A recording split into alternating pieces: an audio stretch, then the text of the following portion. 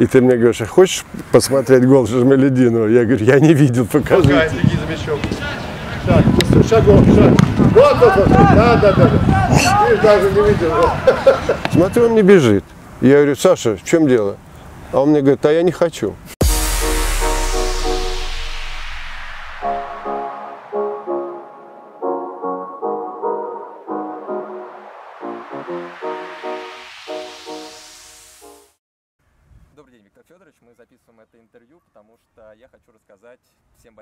«Локомотива» о том, кто готовил нынешних ярких звездочек, которые сейчас определяют игру команды. В первую очередь, конечно, это речь о Рифате Жамалединове, но есть и еще один ваш воспитанник, который сейчас играет в команде. Это Тимур Сулейманов, пока за казанку, но уже и выходил и за основу.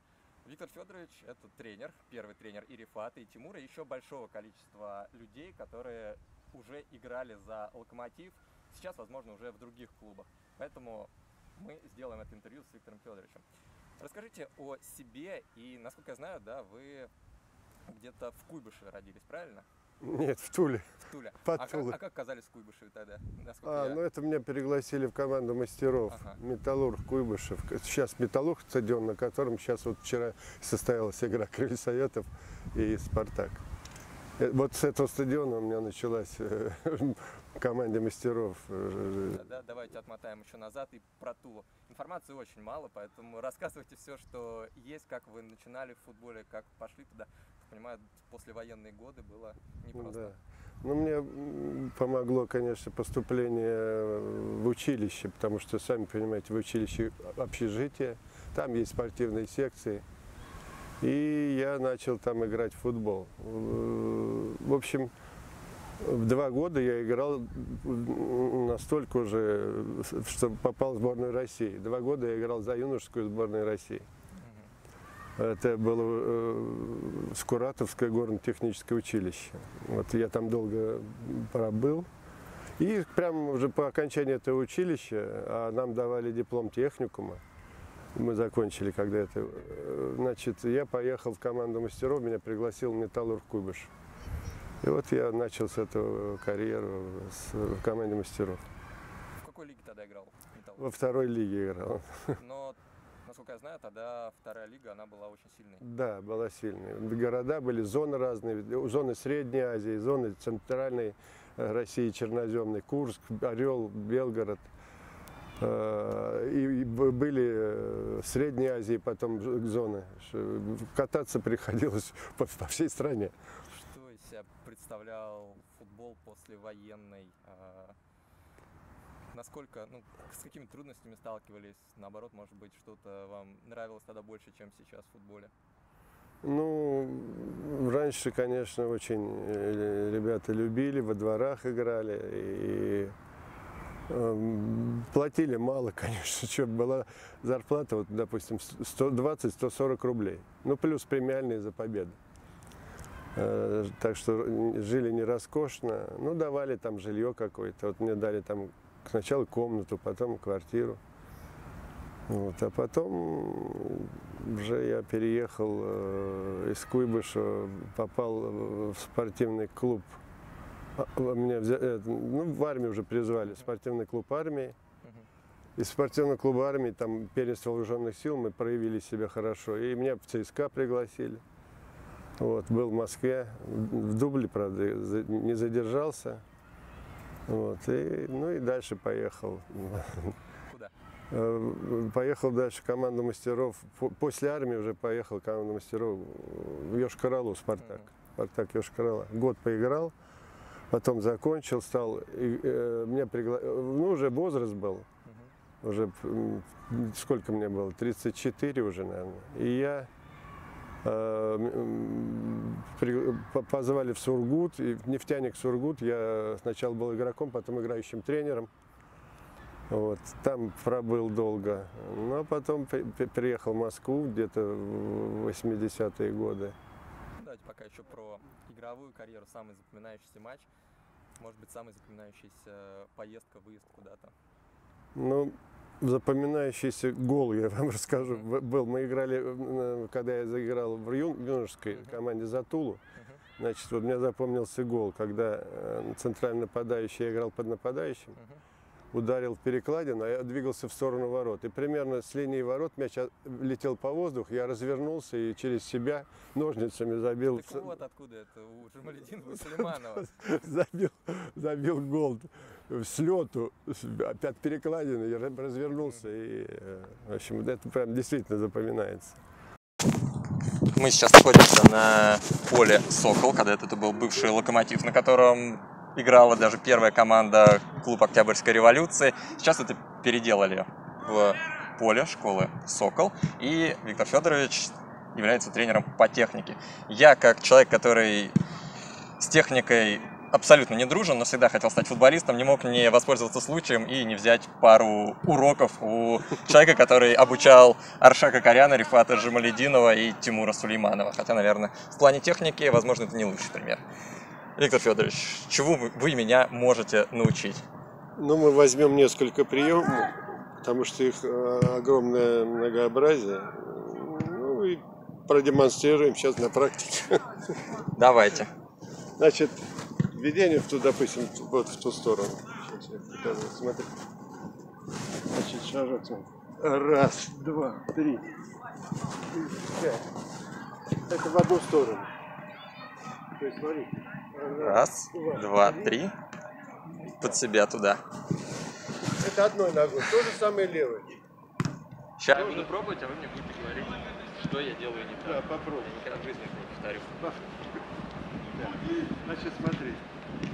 Сначала ты должен шагнуть ногу к мячу, шагнуть. Вот смотри. Шагнул и сразу ведешь мяч, смотри. Тащишь мяч. Раз. И сразу два, три. Выводишь его. Вот первую, первую фазу сделай. Тащи мяч. Раз. К себе, а и от себя. Не подошвы. Посмотри, ногу переводишь. Вот, видишь, раз и, вот. То есть нога вот смотри. Раз, раз. Так, поехали. Туда, остановить. Да, правильно. Я думал, футбол простая игра, а тут Нет. Тащи мяч дальше за спину, да, и вы, вы выводишь из- из-за спины.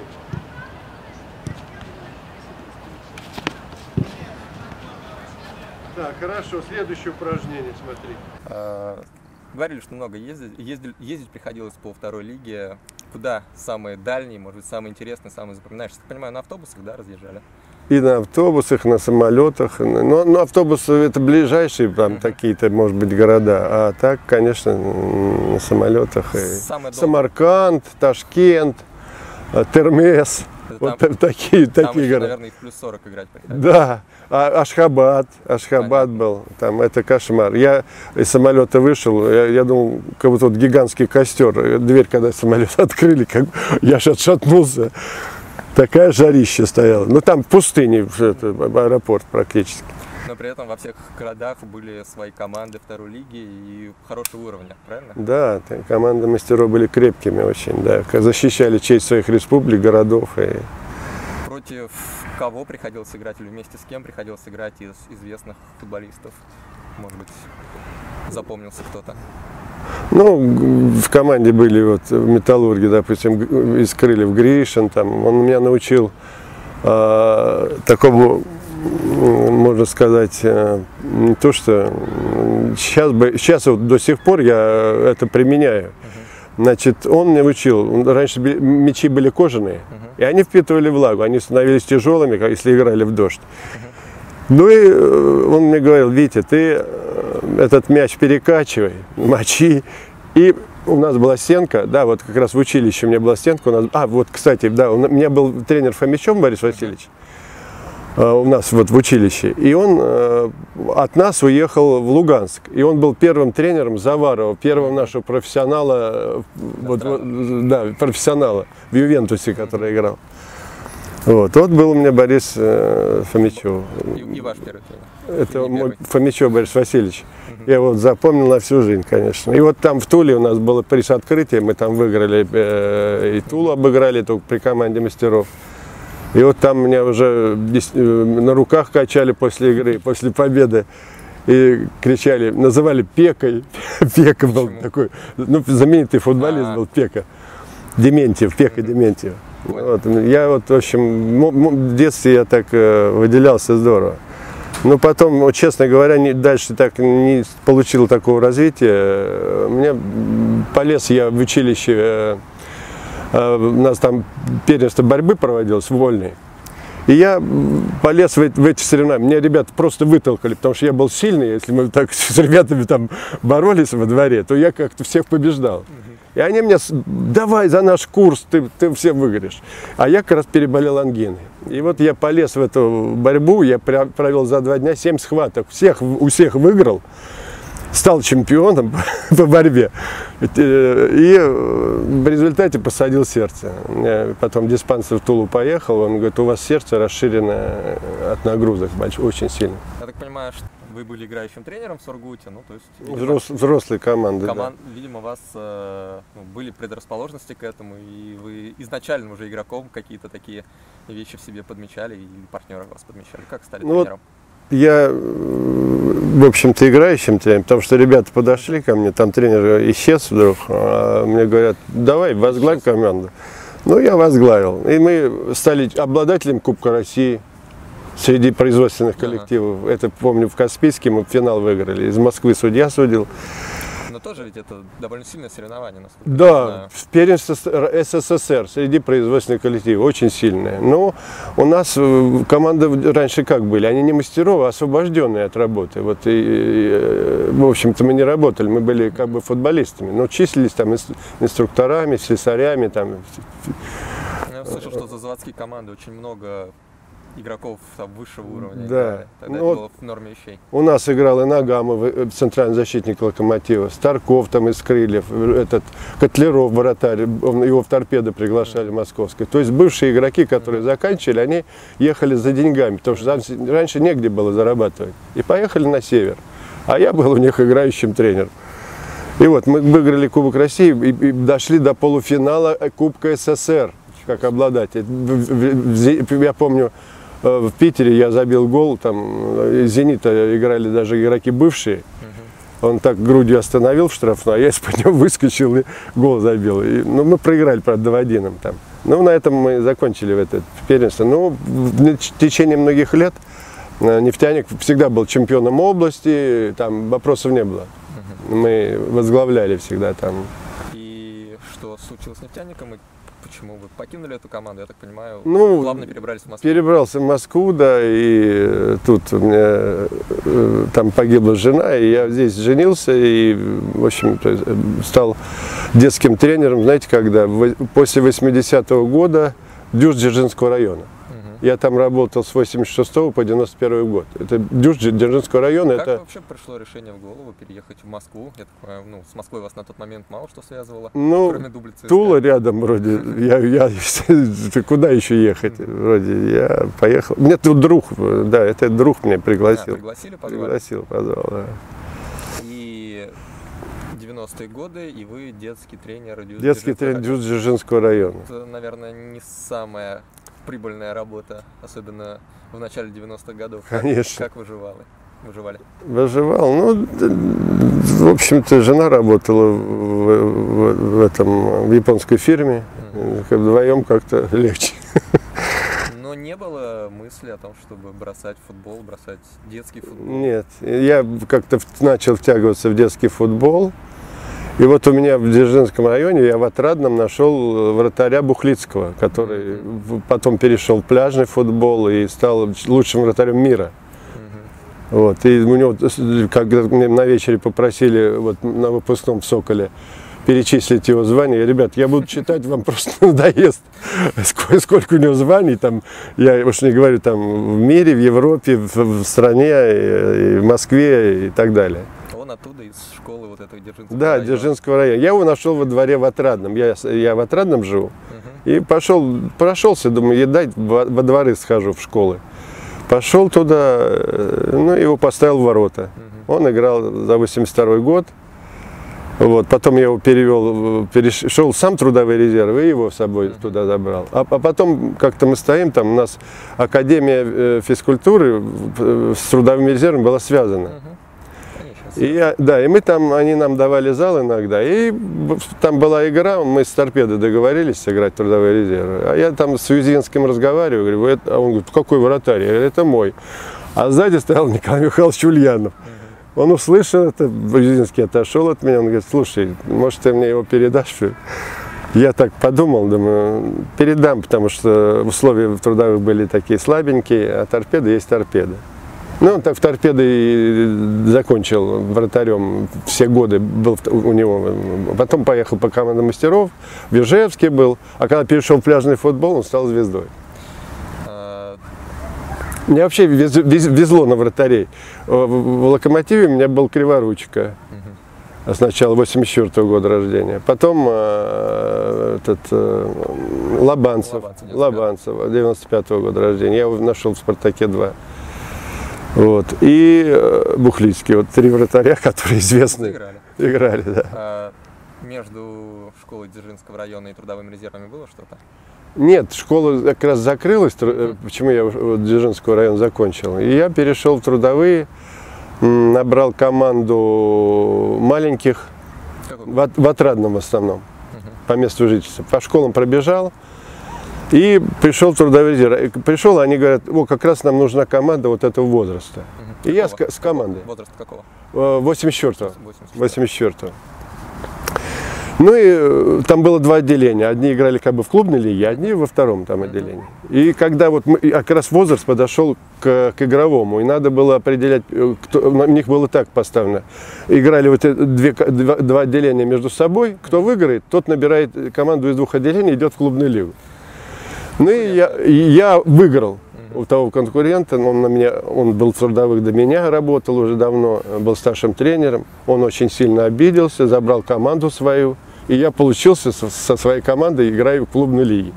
Он про- просто забрал команду, обиделся и ушел. И что вы думаете? Первый круг мы на первом месте. Спартак был на втором, не- не- даже у нас на игру было меньше. Все на меня говорят, где, ты- где ты их нашел? Где ты их нашел таких? А это все вот собрали в Отрадном, да? Что в Отрадном собрал? Практически. Ну, были несколько человек там, да, вот, которые... А в основном все из Отрадного. Ну, очень все, конечно, поражались. Как же так? Это... Заиграл кто-нибудь из них? Ну, Ершов потом, вот Смирнов с нами здесь работает, тоже м, вот здесь методистом. Он, он у него был в сборной России немножко. Так, Ершов никуда не, не попал. Ну, Из тех. Ну, вот был потом, ну, это уже в Локомотив я перешел, когда. Да, еще так, вот получилось так. Команда была э, хорошая, то есть на четвер... мы закончили, правда, на четвертом месте. Ну, вы сами понимаете, Спартак, наверное, набирает быстро, ЦСКА быстро народ набирает. А- Они быстро обновляются. К нам-то никто не идет, вот кем я был, тем остался. Ну, в последующем, эта команда, вот, которая была у меня, она в клубной лиге всегда была крепким середнячком. Одна, в один год, я помню, мы в полуфинале вышли на «Спартак», и только проиграли им по пенальти. 1-1 был счет, и проиграли по пенальти. Третьи были, четвертые, пятые. Вот, вот эти места мы занимали. Была, то есть, в трудовых резервах крепкая команда. И вдруг меня Визинский вызывает и говорит, Виктор Федорович, мы вас, вашу команду, она нам не нужна. Я так смотрю, команда средне, крепкая команда, что еще нужно? Оказывается, они привезли э, э, сборную СНГ. И на базе трудовых резервов раскручивали ее на первенство Москвы. То есть им нужно где-то надо было играть, и они заменили мою команду. Да, я что делал? А в 80, э, сейчас скажу, в 2000 году Локомотив набирал спортивную школу. У них не было, э, при команде мастеров не было спортивной школы. И как раз Ста- Стаферов был старшим тренером. И вот он, я ему позвонил, он говорит, да, нам 84 год нужен. Они уже мне за два года до выпуска, команда уже готовая. И нас приняли э, не, в- клубную лигу, а в первую, в локомотив. Потому что как, же так, мы ни- нигде не выступали, и вдруг появилась школа, и сразу ее туда, да. И вот э, мы, я со своей командочкой туда перешел. Вот как раз у меня там... Фактически с основания школы Локомотива. Да, с основания школы. времени, так сказать. Ну, да. И вот мы, мы завоевали право играть в клубный потом. И, да, и вот э, очень интересный момент. Значит, э, жребий сталкивает э, Кубок Москвы, сталкивает вот эту звездную команду, которая меня заменила, с нами, с локомотивом. И Значит, а мы их обыгрываем. Я как сейчас помню, вот на Соколе, стадион Сокол здесь есть рядом. На Соколе вот это, одна 32-я, по-моему, или 16-я была финала Кубка. И мы их обыграли. Там, я не представляете, что было. Там игроки попадали, все лежат. Тренер Лавков на них орет, ну-ка все в автобус быстрее. В общем, мы как бы отомстили за то, что нас заменили, эти звезды. И второй момент, когда мы играли, э, Семин, э, зная то, что в 84 год э, такая команда у труда, говорит, давайте сыграйте с нашим локомотивом. Я посмотрю. И он пришел, как раз искусственное поле сделали на, на локомотиве только что. Вот, вот это тут сейчас манеж открытый. Оно было открытое раньше. И вторая игра как бы у нас с ними. И что вы думаете, мы их опять обыграем 4-2. В общем, из тех звезд СНГ не очень получилось. Да, вот э, СНГ. Но они чемпионами Москвы были. Но в итоге стали. в, в- в клубной лиге. Об- Обычно они, а, ну, такая команда. А вот нам они, вот, не знаю, так ребят настраивались на них, что э, э, вот бывает, не надо настраивать. Заменили их, поэтому Да, поэтому они- проблем настроить. Ведение мяча углом. То есть тащишь мяч в сторону и проталкиваешь вперед. Смотри. Раз, два, три. Раз, два, три. Раз, два, три. Ага. Посмотри, как я тебя обыгрываю. Раз, два, и ты убежал. понял.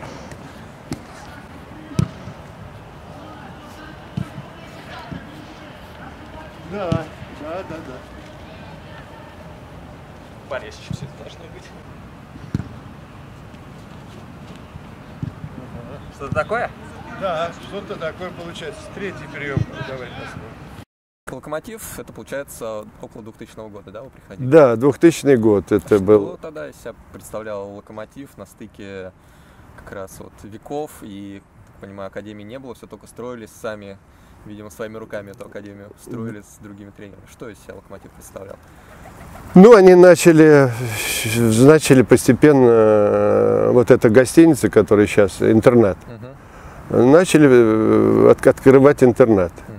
Э, ребят собирать. Да, уже приглашать из других городов. Мгм. То есть уже у нас появилась база. э, Позже э, появилась общеобразовательная школа на территории Локомотива. Так понимаю, это все идея Филатова, Палыча тогда была, да, Да, организация. То есть э, да. был непосредственный контакт между ними и Б- школой. был, да, был. Вот его, его предложение было, допустим, такие предложения были, вот нам приходили, говорят, так, Семин сказал, что лидеров команды каждого возраста а, передать из, из младшего возраста в старший. Ну, то есть Да, чтобы на, на- новый уровень. его на новый уровень выводить лидеров именно. Вы согласны с такой идеей? Ну вот я на примере Жамаледина вам хочу сказать. Ну, И как раз историю, как он пришел. Ну, вы знаете, как проводится отбор. Вот в «Спартаке» я два года был. Там сотни желающих э, приезжают, э, родители приводят отбор делать. э, Там толпы народа. Ну, и, естественно, какие там у них устанавливают введение там мяча, они ведут мяч, э, проверяют их там по-всякому.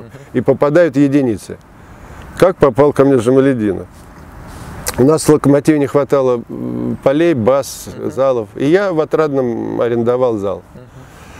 Ну и Самосто- про- Самостоятельно, да? да, Да. 95-й год у меня был. Я, да, 84-й год, э, э, несколько вернусь назад. У меня был 84-й год из трудовых резервов. я Они два, два сезона провели, и последний сезон а, у нас было первенство России в Казани, зона. Мы там с чемпионами выиграли зону России. Поехали в финал э, в, э, в этот, э, под Саратов, то Камышин. Ну, там мы неудачно выступили, там седьмое место, в общем, в итоге заняли седьмое место. Вот. Ну, и я выпустил этот год и перешел на 95-й, на маленьких. Там это им было по 7 лет где-то.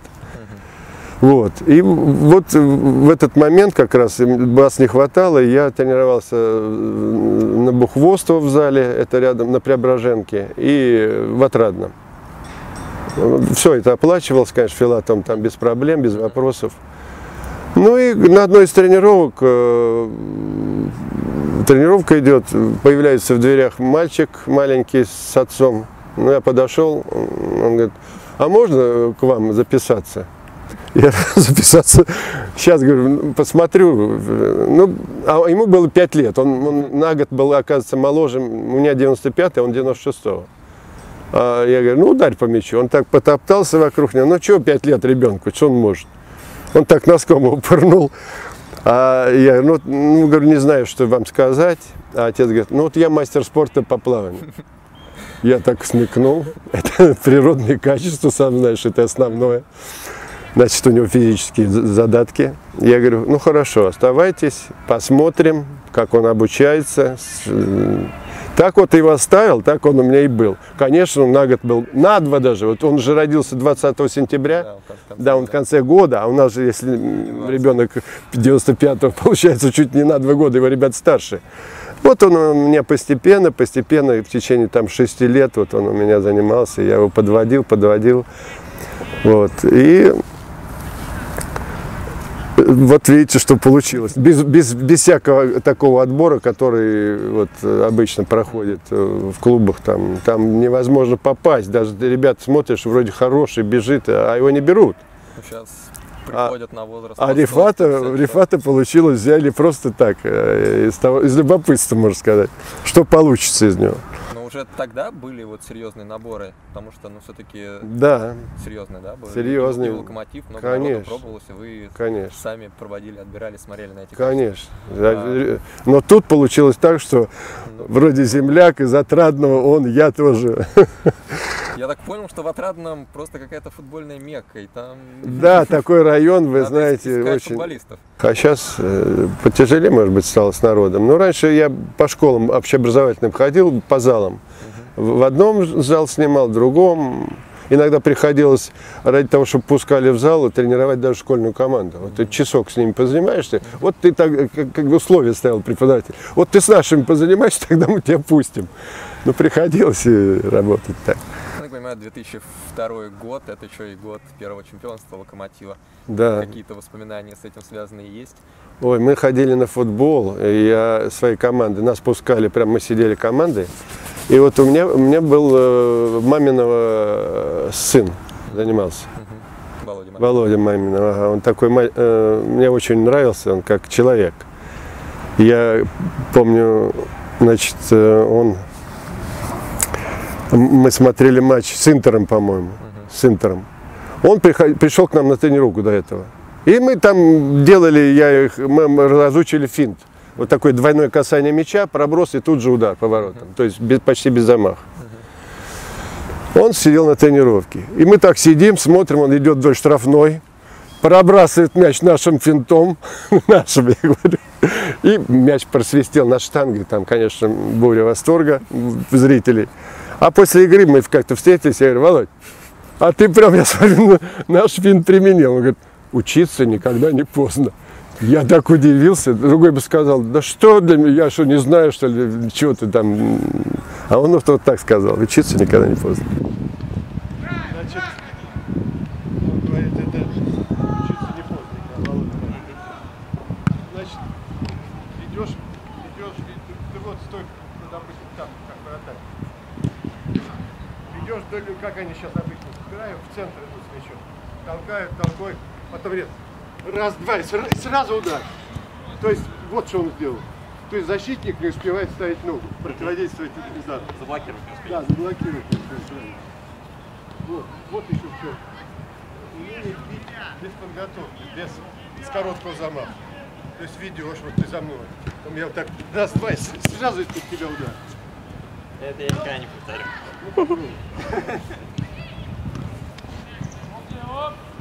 Толкни мяч. Двойное касание. Не-не, не, стой, да и не начал. Надо вот же. Раз, два. Вот это движение.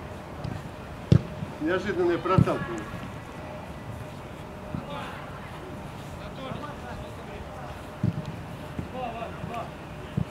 То есть я Справа, нет, сюда, справа начинай. Вот так. Раз, два. Вот это движение. Да, вот это движение. Вот это сделай движение. Толкай мяч в сторону. Двой- Нет, Я понимаю, да. сначала толкни, да. Я пытаюсь хотя бы на месте это воспроизвести. Двойное. И сразу удар. Дать надо, да, быстро, пока не заблокировал удар. И удар. Вот, вот, вот, вот, вот. Да, да, да. Ну, Команда 95 года, я так понимаю, она была уже сильной. И Сильной. И вы боролись. Только мы выиграли турниры, вот ДФЛ, все турниры ДФЛ и международные, все мы выигрывали. Приз открытия Москвы э, среди клубных команд мы выиграли один, один сезон. Второй сезон, для нас это было уже второе место, трагедия. Мы, значит, э, второй сезон тоже приз открытия был, как сейчас вспомню, на «Спартаке 2» на Мягкова. Это там раньше поле было хорошее. И э, с ЦСКА были в одной группе, мы их обыграли. И по две команды выходило в финал. И в финале мы опять встретились с ЦСКА, и мы им там проиграли. Для нас это была трагедия. Вот. Очень много выиграли всяких турниров. э, Ну а в конце, когда я говорю, я уже у нас пришли новые там люди, Семина убрали, спортивную школу начали всех менять тренеров. Ну, у нас проходит вечер, а, подводим итоги сезона. Там на Локо, на этом, на Шиблово есть Локо, Локо, знаешь, там стрим, Локстрим, как он называется. И, значит, э, у нас так получилось. 95-й год я вел. И приезжаю со сборов, и мне говорят, Виктор Федорович, возьми 96-й. Там что-то им надо было поменять. Не знаю, для чего это было сделано, не знаю. Возьми 96-й. А у меня команда 95 шла на первом месте. Ну, я раз перешел в 96-й, я сразу Рифата забрал. Я его не отдавал до этого, потому что он мой воспитанник. И я говорю, это он будет при мне. И, значит, э, Рифата забрал с собой. Заканчивая второй круг, мы стали чемпионами 96-й. Награждают медалями. Вызывают 96-й год. Вызывают 95-й. Меня, меня за рукав тащат, вешают медаль. Ну, ты, ты же заслужил, говорю, что ж ты. Вот, и после этого я уже был настолько уверен, когда я уже услышал, что идет смена руководства, смена тренеров, я настолько был уверен, что я останусь в локомотиве, потому что редко кому с- удается за один сезон две медали выиграть. Нет, ко мне подошли и сказали, мы с вами контракт не продлеваем. А кто тогда был директором? Это был период некий Максима Мотина или это уже дальше? Это был, знаете, кто новый директор? У нас был директор, э, он с Кокорина увел в Динамо, э, как же? Родионов. Родионов. Родионов был, он, он Родионов, он э, был Родионов. Потом его сменил вот сейчас в, СВИ, в этом, э, вот в Строгино, Нагайцев. На- Нагайцев. Нагайцев. Он уже не в Строгино уже давно. уже, не в Строгино, но да? Вот он пришел директором, заменил э, Родионова. Родионова, да. а, ну, он, да, объявлял о том, что вам, или Родионов объявлял о том, что не будет продлеваться. Родионов просто сказал, что э, тебя тоже наверное, уберут. и, и всё. А, Давайте, раз уж мы вспомнили Кокорина, вы наверняка его помните по тренировкам, видели. Я слышал много, опять же, историй про Кокорина, что это была чуть ли не главная звезда всей школы, и на него приходили люди смотреть. Вы его каким помните? Да, это действительно был э, такой игрок э, известный, выдающийся. Ну, уже с такими, как вам сказать, э, его баловали. Очень баловал его э, Родионов, во-первых. Я как не зайду в кабинет, они сидят там, э, постоянно он там у него ошивался в этом кабинете. И, или вот, допустим, идет по коридору, вот так двумя сумками обвешался с формой. Он ему форму на- напихает туда. Для чего это было, не знаю. У всех в комнатах нам приходилось иногда дежурить в интернате по ночам. Вот. У всех э, телевизора не было, потому что дети должны спать и высыпаться, они же сами закроются, там телевизор смотрят долго. У него был телевизор всегда. Потом раз э, такой эпизод был у меня с ним. Э, Тренер то ли заболел, то ли, ну я заменил его. И там было одно упражнение, где надо было пробежать, а потом там что-то с мячом. Смотрю, он не бежит.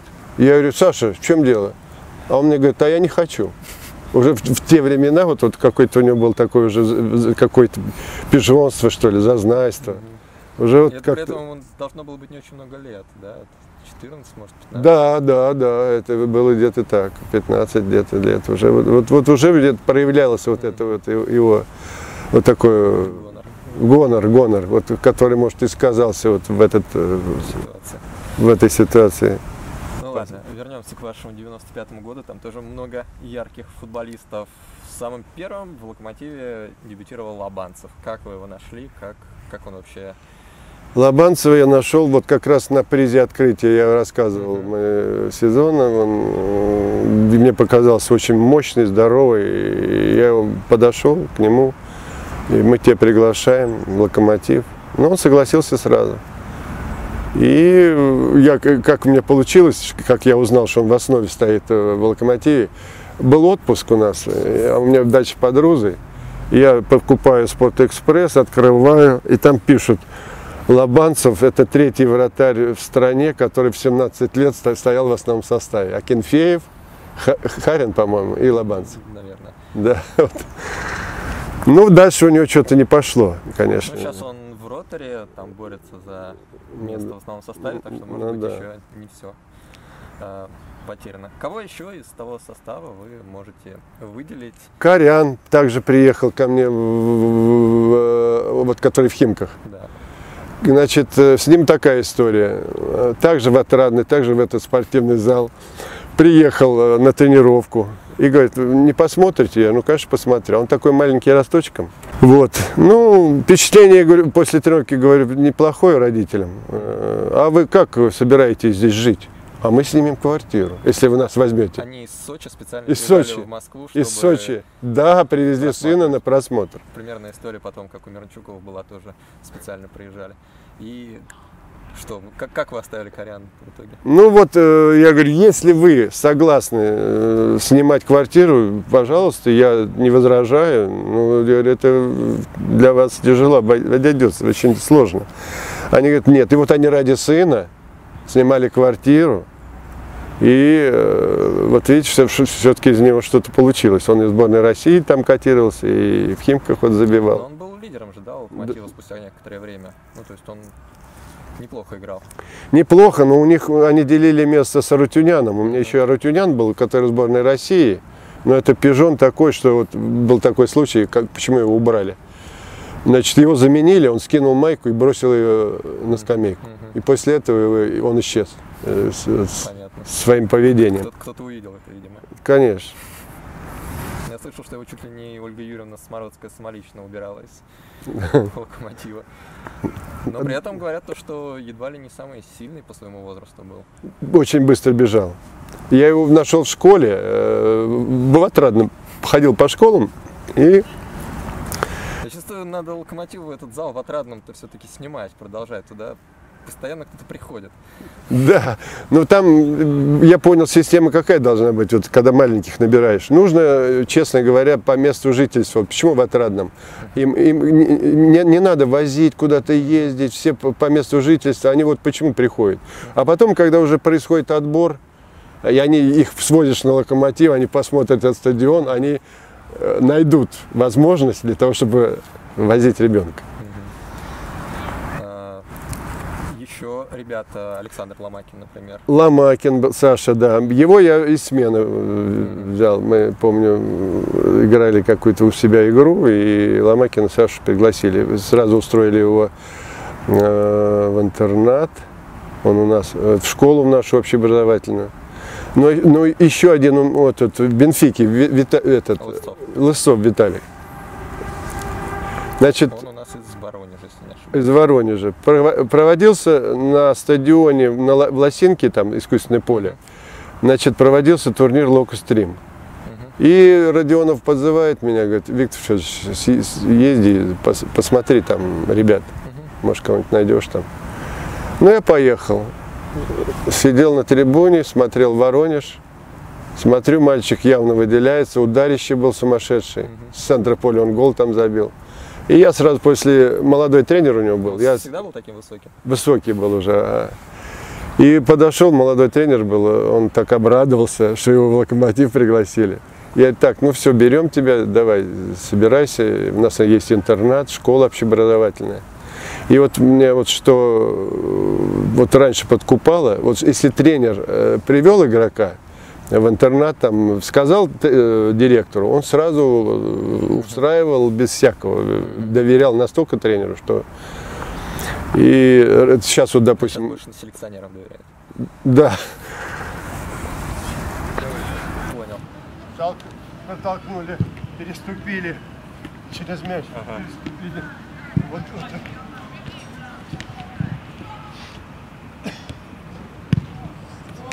внешне проталкиваешь. Внешне. Поступаешь и переступаешь внешне. Вот, вот, вот, вот, вот, так, так, так, так. Так.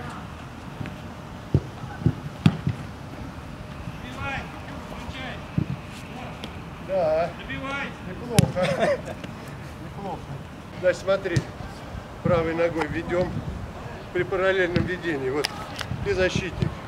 Мяч я веду от противника дальней ногой, правильно? Да. Проталкиваем с тобой, вместе бежим. Пошли. Вот видишь, в чем, в чем, и что, что я сделал? Остановились Ты остановился, а я в этот момент рывок. Вот, вот, вот. Попробуй. Так, Толкни мяч. Беги за ним. Наступил. Сразу протолкнул. Да, да, да, да.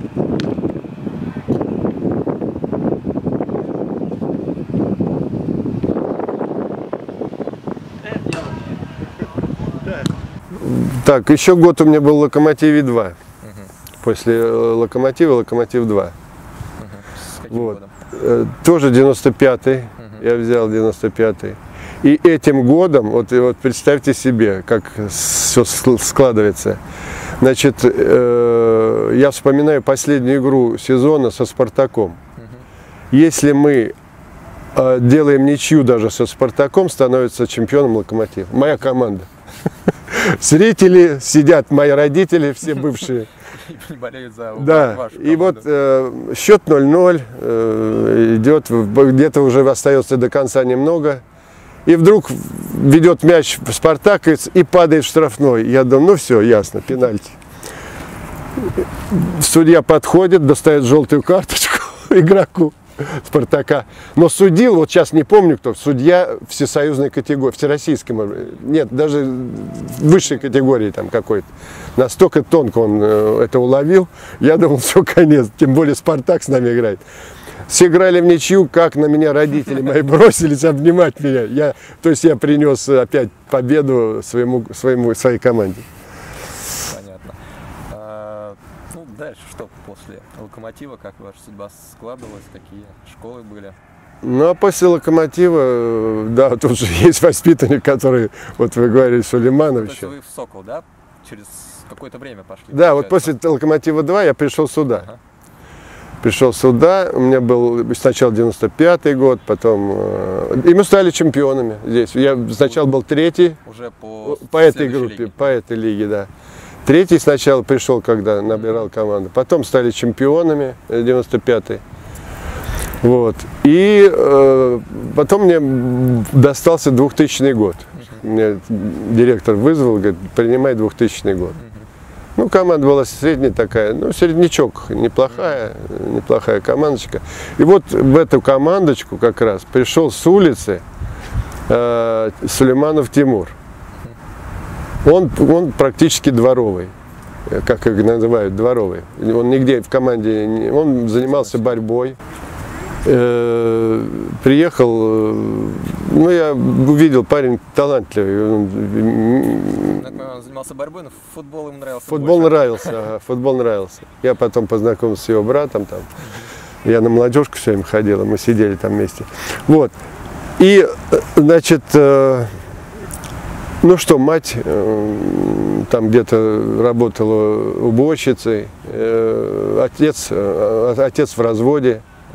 Э, Очень тяжело, видно, он и денег ему давал на питание, и и там как-то поддерживал его, как-то старался. Ну, ну что можно было сделать?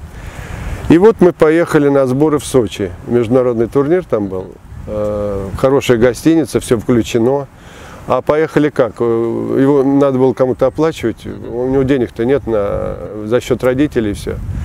И я попросил родителя одного там богатого. Он говорит, «И вопросов нет, я заплачу за него. Приехали туда. Начали игры начались. Он мне заходит в номер и говорит, Виктор Федорович, меня приглашает Краснодар и Динамо.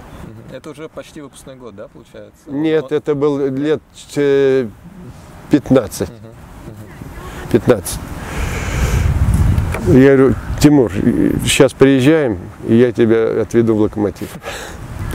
Потому что там условия я знаю, хорошие условия. И мы тренировались в Черкизово, у нас поля своего не было, вот там в парке в этом тренировались. Э, Я его приглашал на тренировки. Я говорю, так, Тимур, ты приходишь за час до тренировки. И я с ним занимался все время индивидуально, техникой. Потому что он отставал, надо было догонять, а парень талантливый. Вот. И, э, в общем, получилось, что с Тимуром его сразу взяли. Я единственное попросил руководство школы «Локомотива», мы были на вылет, помочь клубу остаться в этой э, группе. Но они пошли навстречу, говорят, пусть он у нас тренируется, играет за вас. Он, он доиграл за нас и остался в «Локомотиве». Ну, что такое «Локомотив»? Это питание, это интернат, проживание. Никаких забот он уже не знал по поводу сбыта там, у него все началось. И он начал, начал резко прогрессировать, резко начал прогрессировать. Потом я вот весь год вот, вот смотрел, как молодежка играла. Я все время ходил смотреть на игры, ходил смотреть. И он потом, смотрю, капитан команды. В конце сезона он лучший бомбардир лиги. Потом вы видели, я когда я иду на игру с э, 4-0, у кого выиграли, у Урала. Иду на игру, мне Жамалединов же дает абонементы на, на сезон. Я об- обычно, когда он дает, мы сидим, и Тимур всегда со мной рядом, я, я иду на игру и думаю, ну сейчас с Тимуром поговорю, давно не, не видел. Поговорю, потом смотрю на табло, а он в запасе сидит, уже в основном составе. И его еще и выпускают в конце матча. Ну, я вообще обалдел. Идет меня, а он знает, где я сижу, мне показывает. Я ему тоже молодец. Он специально с турнира международного со сборной России. Да, его отозвали. играли, Он приехал в финал. Да, он же в сборной у, у- это, у- Ю-20. у- дв- Ю-20. э, Приехал и сразу в запас, а потом еще и вышел на Да, 5 минут. В да. общем, такая взлет карьеры. Да, мама мне там он на телефоне мне этот, благодарность, Виктор Федорович, вы нам для нас все сделали. Э, Он матери помог квартиру купить, там в этом, Дер- в- как этот город Дербент. Я же думал, в отрадном. Нет, не в Отрадном. Вас сейчас связывает? Я так понимаю, что с Жамредином, Сулеймановым общение продолжается с Локомотивом как-то, может быть, св- связаны. Ну, мы, вы знаете, по-разному складываются отношения тренера и, и бывших этих всех выпускников. Некоторые просто забывают, как будто тебя и не было. А вот с Жамаледином мы с мамой дружим и перезваниваемся с Рифатом постоянно. Вот я его приглашаю на тренировки иногда, как только свободное говорю, появляется у тебя время, обязательно приходи, мы будем шлифовать технику. Вы его на индивидуальное занятие, да? Да, приглашаю на индивидуальные занятия. И также Тимура приглашаю. Да, вот я еще начал э, рассказ о том, что Гришин чему меня учи- научил. А, в- Еще когда при, Личных много. да? Как- как в, зовут? Куйбышеве, когда как, как был. его зовут? Э, Володя. Ага. Он, помню, говорят, когда бил штрафные, э, Лев Яшин еще стоял, он говорит, весь стадион гудел, у него был удар пушечный. Так вот он мне говорил, Витя, почему мне удар пушечный? Перекачивай мяч, делай его мокрым, это э, он еще тяжелее станет. И когда переходишь к обычному мячу, мяч летит как пуля. По идее, наша промышленность, вот мне все вот эта мысль. Я, я Рифату вставил две камеры в мяч, зашил и дал ему, Рифат, говорю, бей по стенкам, долби сколько можно, удар будет очень сильный. После, это, как называется на- нау- по-научному, метод сопряженного воздействия. То есть больше усилий прилагаешь, переходишь к обычному мячу, мяч уже по-другому, летит как, как из пушки, как говорят. То же самое Сулейманов мяч этот такой сделал, но у них он быстро порвался, потому что я плохо зашиваю. А, а по идее нужно эти мячи, нужны мячи вот такие для, уже в старшем возрасте, для того, чтобы удар был сильным. Я не о точности не говорю, именно сильным. Удар из-за штрафной площади, издалека. Вот такой метод очень годится. Ну, Тимуру еще над силой удара надо поработать было. у Конечно. Выход один на один. Конечно, и он нападающий. Еле, еле ковырнул. А, может быть, Я так понимаю, что вам Жамалединов дает абонементы, клуб никуда не приглашал, не Нет, клуб с нет. клубом, как тогда вот связь оборвалась, так и Так и да, все. больше ничего нет. Ну, сейчас чем вы занимаетесь и конкретно вот в школе Сокол, понимаю, вы тренер по технике со всеми возрастами. По идее, да, но у нас э, директор стал смотреть на меня как на э, глубокого ветерана и, и вроде как объясняет заботы о здоровье и на поле как бы уже и не разрешает даже выходить. И Это, это, это вообще нонсенс какой-то. Вот, поэтому сейчас мне, мне, например, неинтересно такое, такое положение дел. Хотя вы моложе Палыча, какой вы ветеран. Вот именно. Не, а потом существует э, медосмотр, каждый год проходим. Причем здесь э, возраст, правильно? И Если он мне все говорят, да что ж ты так носишься? Я говорю, ну а что, позволяет здоровье, ношусь, а не позволит, я и сам не выйду. Зачем мне это нужно? Ну хорошо, чем вы занимались в школе Сокол, пока вас немножко не отодвинули от поля? Вот выходил ко всем возрастам команды, вот Десюков, э, очень хороший тренер молодой, он, э, я с ним регулярно, у него очень хорошая команда, он обыгрывает уже и ЦСКА, и все эти э, команды, вот сейчас Чертанова, вот, и я с ними раз в неделю обязательно, у меня было занятие с ними, обязательно, я им что-то новое привносил. Э, Не, не то, что они делают, а то, что вот... Какие-то новые упражнения? Да, какие-то То, упражнения. чем они не занимаются, То, чем именно чем они не занимаются. Мы это продолжалось очень долго, и вот он мне сейчас говорит, а, а что ты? Ну я ему объяснил, что. Мгм. Ясно. Ну, спасибо вам большое за это обстоятельное интервью. Я надеюсь, то, что, может быть, еще из школы Сокол кто-нибудь в Локомотив придет и еще засверкает. Чувствую. Ну и, Ну, скорее всего, это будет кто-то найденный в Отрадном. да, да, может быть. Спасибо за разговор.